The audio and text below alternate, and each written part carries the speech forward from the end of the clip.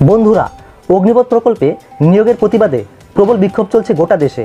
এরই মধ্যে রবিবার সেনার তিন বিভাগের সঙ্গে বৈঠক ছিল প্রতিরক্ষামন্ত্রী রাজনাথ সিংয়ের। পরে এক সাংবাদিক সম্মেলনে সেনার তরফ থেকে পরিষ্কার করে দেওয়া হলো, এই নতুন নিয়োগের লক্ষ্যই হলো যত বেশি সম্ভব ভারতীয়কে সেনা নিয়োগের সুযোগ করে দেওয়া। এই প্রকল্প প্রত্যাহার করে নেওয়ার কোনো প্রশ্নই নেই। সেই সঙ্গে ঘোষণা করা হলো একগুচ্ছ সুবিধার কথাও। বিক্ষোভকারীদের শান্ত করতেই এই পদক্ষেপ, এমনটাই মনে করছে ওয়াকিবহল মহল। যদিও কেন্দ্রের ব্যাখ্যা এই সবই পূর্ব পরিকল্পিত। বিক্ষোভের ফলে রাতারাতি এমন ঘোষণা হচ্ছে, বিষয়টা তা নয়। সেই সঙ্গে লেফটেন্যান্ট জেনারেল অনিল পুরী জানাচ্ছেন, সেনার চাকরি একটা আবেগ, বেতন দিয়ে একে মূল্যায়ন করা যায় না।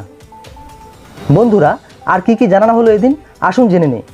প্রথম দফায় আগামী ডিসেম্বরের মধ্যে পঁচিশ হাজার অগ্নিবীরকে নিয়োগ করা হবে। পরবর্তী নিয়োগ হবে দু হাজার তেইশ সালের ফেব্রুয়ারিতে।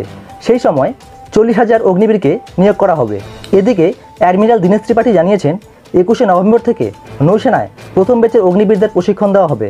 পুরুষদের পাশাপাশি মহিলাদেরও নিয়োগ করা হবে অগ্নিবীর হিসাবে। আগামী চার থেকে পাঁচ বছরের মধ্যে সেনা জওয়ানদের বেতন পঞ্চাশ থেকে ষাট হাজার টাকায় পৌঁছাবে। পরে তা বেড়ে নব্বই হাজার থেকে এক লক্ষ পর্যন্তও পৌঁছে যাবে। পাশাপাশি অন্য জওয়ানরা যে পরিমাণ ভাতা পান, তাও পাবেন তারা। কোনো অগ্নিবীর শহীদ হলে তার পরিবারকে এক কোটি টাকার অর্থ সাহায্য করা হবে। দেশভর চলতে থাকা বিক্ষোভ সম্পর্কে সেনার মন্তব্য, ভারতীয় সেনার ভিত্তি হলো শৃঙ্খলা। এখানে অগ্নিসংযোগ, ভাঙচুরের মতো ঘটনার কোনো স্থান নেই। তাই আবেদনকারীদের একটি সার্টিফিকেট পেশ করে জানাতে হবে, তারা এই ধরনের কোনো প্রতিবাদের অংশ ছিলেন না।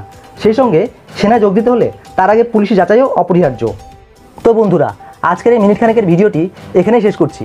যদি আপনাদের এই ভিডিওটি ভালো লাগে, তাহলে আমাদের চ্যানেলটিকে অবশ্যই সাবস্ক্রাইব করবেন। দেখা হচ্ছে পরের ভিডিওতে। জয় হিন্দ, বন্দে মাতরম।